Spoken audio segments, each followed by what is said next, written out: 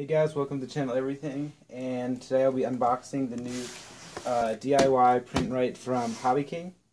Came in the mail to me just today, and uh, we'll start by opening this box up here.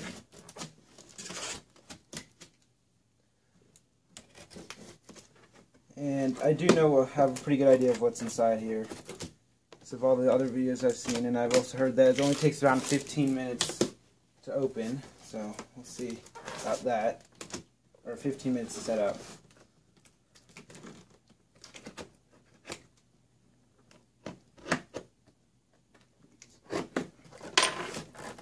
tricky to open it.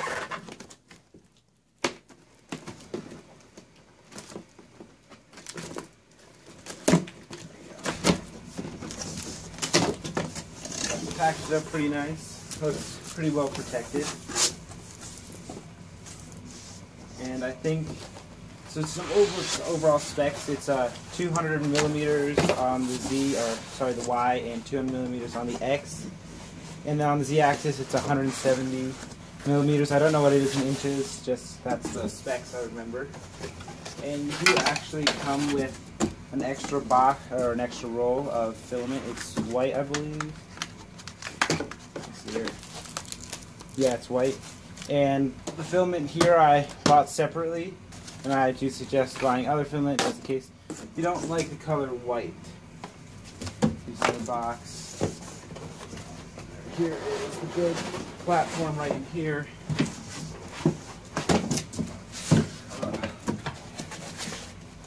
Already comes with some tape on it here. Let's do. Okay, so let's here. Uh, this is just power supply. Don't need that box.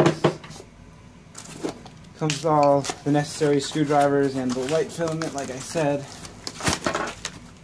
Just add that up there. And screwdrivers, hex screwdrivers. Looks like the top some instructions here. Look pretty drawn out, but I'm probably going to take a look at the PDF here. Or there's a PDF with the USB stick that's somewhere around here.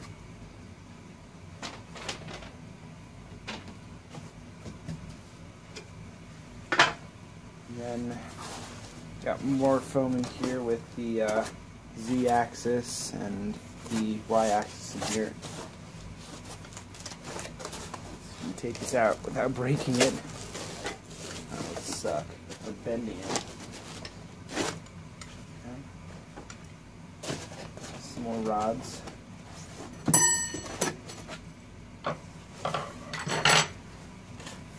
Then got this.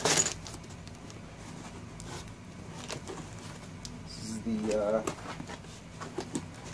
x-axis or y-axis, I'm not exactly sure but so it has the extruder on it. Looks nice. I thought the plastic was going to be a little bit cheaper, but it does uh, look uh, a lot better. It does seem more durable than I had originally thought.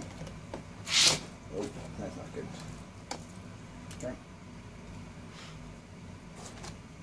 Test sheet. So I guess this is for leveling your bed here. That's helpful. And USB cable, USB drive. This has all your programs on it. And more tape, I guess, for the bed. Good. And then, I guess, some spacers and some screws. Just out here.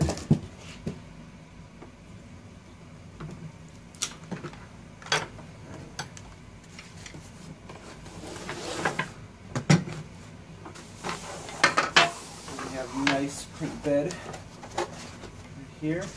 Like I said before, it's 200 by 200 by 170. So I think it's definitely enough for a beginner size printer. And this was only about $330, not including shipping, from the uh, U.S. warehouse. And then here we got the plates that are holding the uh, filament. That's about it. So, guys have any questions, uh, please leave them down in the comments below. And please subscribe. Alright, thanks for watching.